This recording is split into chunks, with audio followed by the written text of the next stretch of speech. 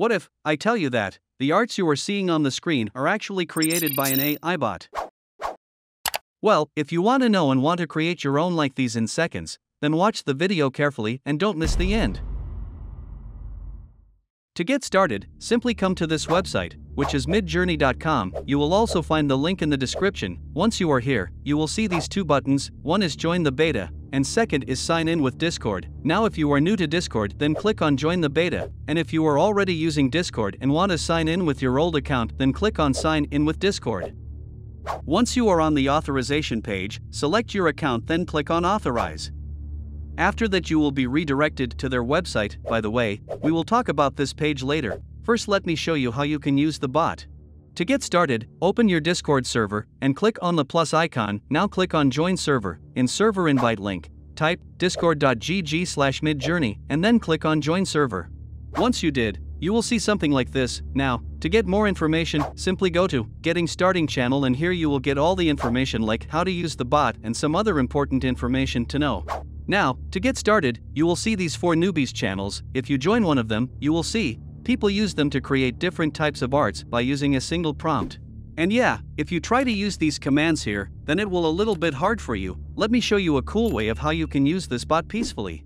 To do it, simply click on the bot, then click on Add to Server. Now in Server Selection, select your server where you want to invite, make sure to give the bot all the permissions which it need. Click on the Authorize button and then complete the CAPTCHA.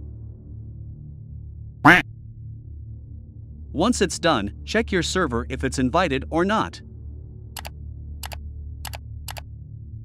To use the bot, type the command slash imagine and then select the prompt. For the first time, write any one letter because first time you will need to accept their TOS, then you can fully use the bot. You will also get some information here, make sure to read them. Now, use the command again which is slash imagine and select the prompt, now type anything which you want and it will create an art for you. For example, I will give it a prompt, small boy going to heaven. And yeah, if you want to add any type of other details, then you can use the comma after the prompt. For example, I will give it that there should be some rays and the art or picture should be cinematic. Once you are done, simply press enter and it will start generating the art for you. The optimal time of generating an art is 60 seconds, which means you will need to wait for about 60 seconds then you will able to see your art in full HD version. I will fast forward the video to make the video shorter. And also, it will create 4 different arts, so you can select any of the 4 arts which you like the most, and there are also some more option which you can do after the completing process. Once it's done, you will see something like this, there should be 4 different types of arts, and if you don't like any of them you can also react on the reload button, and it will create a different type of art for this prompt, and if you liked any of them and want to upscale it, like separating this art in HD version, then you can use the buttons below. Simply select your art in any one art which you like and click on the upscaling button containing your art position, like mine is number 4.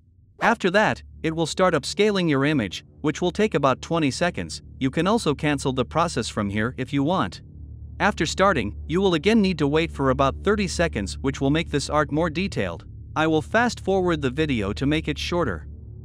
Once the process is done, you will get the last image, and also, you can still change the image by reacting to the buttons below. Once you are fully satisfied, you can download this art and use it if you want.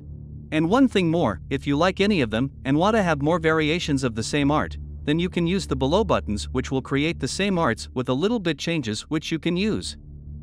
As you can see after some time, it created different arts, which are same but there are little bit changes. Just like before, use the same method and it will create the art. As you can see, I entered only three texts, and the bot created these four amazing arts, which you can upscale or create more variations according to your need. On the website, at homepage, you will see all your arts which you created on Discord, and if you go to community feed, then you will see what other people created, you can also see what prompt they have written in order to make these arts, and about subscription, if you come to manage subscription, then you will see two types of subscription here. One is basic and second is standard, and price is 10 and $30. Both of them are monthly, and if you go to enterprise plan, then you will see only one membership which is corporate membership and the annual fee is $600. So this is the end of the video, thanks for watching and peace out.